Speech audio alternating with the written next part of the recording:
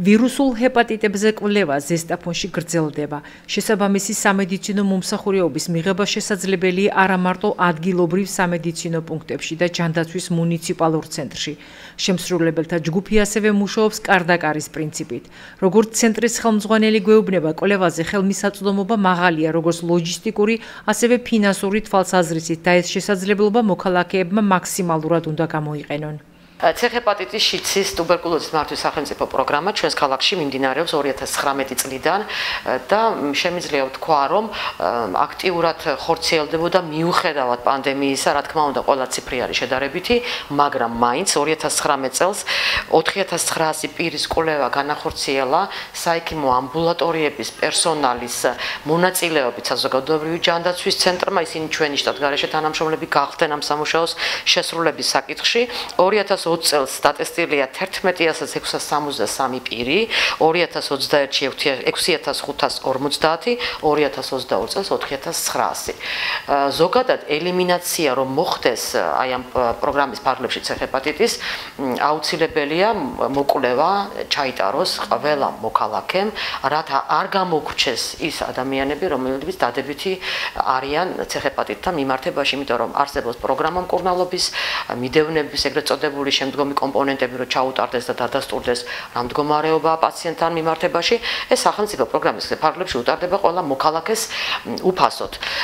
ამიტომ 2025 წლის ბოლოს უკვე ეს ელიმინაციის პროგრამა უნდა შეჯერდეს, დასრულდეს და 6 თვეში ერთხელ ხდება გამოკვლევა ცეზე და შიცე ყველა მოქალაქის რომ უნიკალური შემთხვევების რეგისტრაცია მოხდეს. 2023 წელს ჩვენ დაახლოებით 12000 პირის კვლევა გვაქვს დაგეგმილი. შესაბამისი ბიუჯეტი მერიდან გამოყოფილია.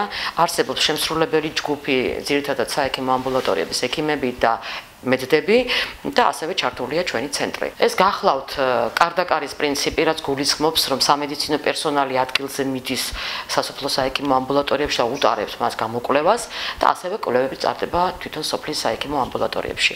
შესაბამისად ხელმისაწვდომობა გეოგრაფიული და ფინანსური ნამდვილად არსებობს და ამიტომ ეს შესაძლებლობა მოქალაქეებმა უნდა გამოიყენონ.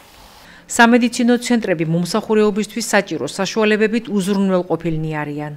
სახელმწიფო პროგრამების ფარგლებში სკრინინგული კვლევის დანიშნულება დაავადებების ადრეული გამოვლენა და შემდგომ ამ გამოვლენილი შემთხვევების ბოლომდე მიდევნება მკურნალობაში ჩართვის მიზნით. ამ სკრინინგული კვლევებისათვის საჭირო ტესტ სისტემები და ასევე დამხმარე სახარჯი მასალები შემოტანა ხდება IP საზოგადოებრივი ჯანმრთელობის ესტაფონის მუნიციპალური ცენტრის მიერ იმერეთის სამხარეო ცენტრიდან. ამ სკრინინგული კვლევების კვლევებში 2019 წლიდან ვართ ჩვენ ჩართულები. დღემდე არ ქონია პრობლემა ტესტების მომარაგების საკითხში. ჩვენიდან ხდება ლოჯისტიკურად ამ ტესტ სისტემების განაწილება საექიმო ამბულატორიებზე, მათი მოთხოვნების შესაბამისად, ასევე ხდება ამ ტესტების ელექტრონულ მოდულში აღრიცხვა და ხარჯები ტესტების დაფიქსირება. ყველა საექიმო ამბულატორია ტესტირების შემთხვევაში მომარაგებულია ყველა იმ სახარჯო მასალით, რაც აუცილებელია ტესტირების სრულყოფილად ეპიდემიოლოგიურად ჯანსაღ გარემოში ჩატარებისათვის. ვირუსული ჰეპატიტის დიაგნოსტიკამ და მკურნალობაზე საყოველთაო ხელმისაწვდომობამ დაავადების სტატისტიკა ქვეყანაში საგრძნობლად შეამცირა. ერთობლივი ძალისხმევით შედეგად ვირუსული ჰეპატიტის დიაგნოსტიკასა და კურნალობაზე საყოველთაო ხელმისაწვდომობამ ქვეყანაში მნიშვნელოვნად შეამცირა დაავადების ტვირთი. 2.8 მილიონზე მეტმა მოქალაქემ გაიარა სკრინინგი. 79000-ზე მეტმა ადამიანმა მიიღო უახლესი ანტივირუსული კურნალობა. და განკურნების მაჩვენებელი თითქმის 100%-ია. ჯერ აქ საქართველოს შეძლებს კიდევ უფრო დიდი წვლილი შეიტანოს ევროპის რეგიონში ვირუსული ჰეპატიტის ელიმინაციის საქმეში.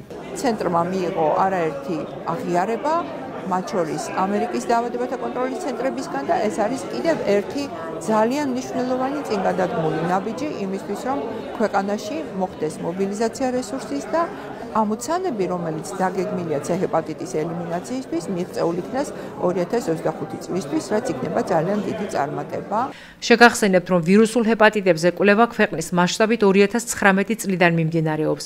C ჰეპატიტის ელიმინაციის სახელმწიფო პროგრამის წარმატების აღიარებისა და საერთაშორისო პარტნიორების მხარდაჭერის ნიშნად საქართველოში ვირუსული ჰეპატიტების ელიმინაციის კოლაბორაციული ცენტრიც ამოქმედდა.